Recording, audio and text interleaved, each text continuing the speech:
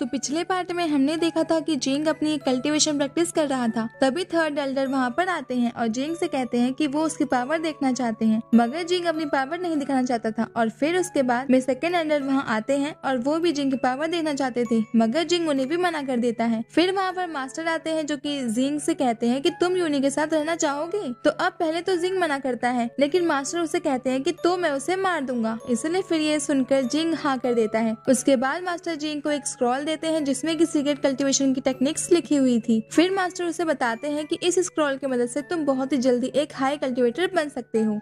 अब इस पार्ट को स्टार्ट करने से पहले आपसे रिक्वेस्ट है कि इसी वीडियो को एंड तक देखिएगा।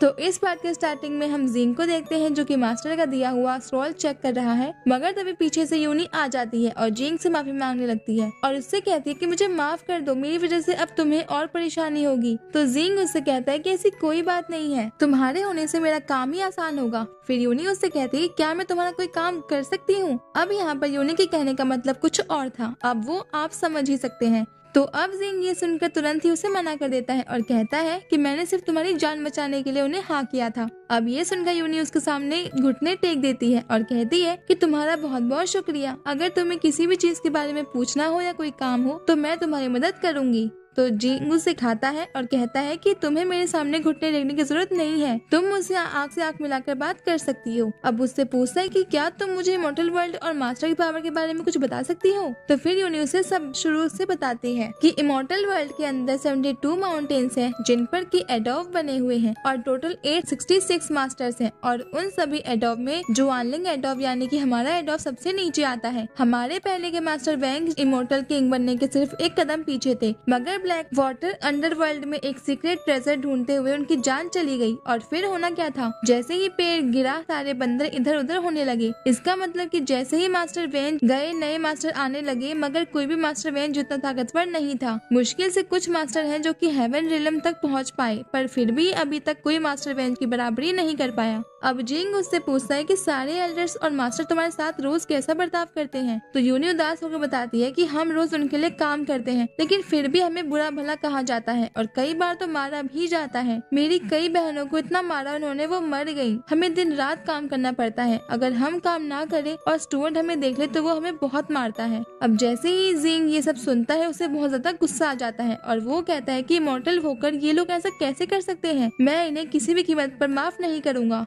अब यूनी जिंग से कहती है कि तुम ऐसा कुछ भी नहीं करोगे। यहाँ के मास्टर एल्डर बहुत ताकतवर हैं और तुम उनकी बराबरी नहीं कर सकते। इसलिए जब उनकी नज़र तुम पर ना हो, तुम यहाँ से भाग जाना। अब जिंग यूनी से कहता है कि तुम्हें मेरी चिंता करने की कोई ज़रूरत नहीं है। अगर मैं एडोव मास्टर की बराबरी नहीं भी कर पाया तो भी मैं आखिरी तक लड़ूँगा। अब हम देखते हैं कि बातों ही बातों में वो दोनों बहुत पास आ गए थे, लेकिन उन्हें इस चीज़ का आभास हो जाता है। इसीलिए जिंग यूनी से कहता है कि अब मुझे प्रैक्टिस करनी है। तो यूनी उसे कहती है कि तुम्हें अभी रेस्ट करना चाहिए। लेकिन जिंग कहता है कि नहीं, मैं अभी रेस्ट नहीं कर सकता। फिर जिंग कल्टिवेशन करने लग जाता है और यूनी वहीं पर खड़ी उसे देखती रहती है। जिंग सोचता है की मोटल वर्ल्ड की पावर इमोटल्स वर्ल्ड से बहुत कम है, इसलिए अगर मैं यहाँ पर ज़्यादा कल्टिवेशन करूँगा तो मेरी पावर बहुत ज़्यादा बढ़ जाएगी। अब हम देखते हैं की थोड़ी देर में जिंग का कल्टिवेशन स्ट्रॉन्ग होते जा रहा था, लेकिन फिर वो और इतना स्ट्रॉन्ग हो जाता है कि आसमान में काले बादल छाने लगते हैं और बिजली गिरने लगती है। ये सब मास्टर और दोनों एल्डर्स देख रहे थे और बहुत ज़्यादा शौक थे कि ये क्या हो रहा है। अब वो जींग से थोड़ी दूर थे, इसीलिए उन्हें नहीं पता था कि ये सब जींग की कल्टिवेशन का कमाल है। इसीलिए वो सोचते हैं कि ना जाने ये क्या हो रहा है।